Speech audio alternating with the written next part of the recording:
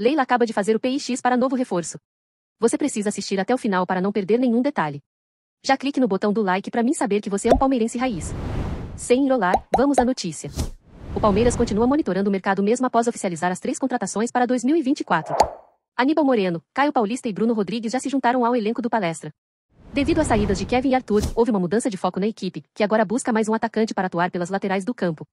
Inicialmente interessada na contratação de um meia, a equipe reconsiderou, optando por dar oportunidades a Tuesta e Estevão como opções de reserva para Veiga.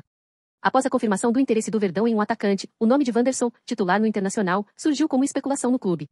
A informação foi divulgada pelo comunicador Diego Firmino, que cobre o Palmeiras em suas redes sociais. Se você ainda não deixou o seu like, deixe agora para continuar recebendo as notícias do Palmeiras em primeira mão. Quanto ao futuro do atacante Wanderson, um dos principais jogadores do Internacional, informações de Jorge Nicola revelaram que o clube gaúcho não pretende vendê-lo a um rival brasileiro. A decisão visa não fortalecer um concorrente direto nas competições da temporada.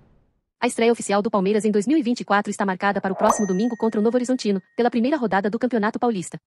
Além disso, o Verdão enfrentará o São Paulo na final da Supercopa do Brasil, uma das primeiras decisões da temporada. Quanto a Wanderson, seus números impressionaram na última temporada, contribuindo para 18 gols do Internacional, com 10 gols marcados e 8 assistências em 61 jogos. Seu contrato com o Inter vai até o final de 2025, e seus direitos econômicos estão avaliados em cerca de 8 milhões de euros, aproximadamente 42,8 milhões de reais. Bom, agora é sua vez. Ele seria uma boa contratação? Me conta nos comentários, deixe seu like e se inscreva no canal para continuar recebendo as próximas atualizações do Palmeiras.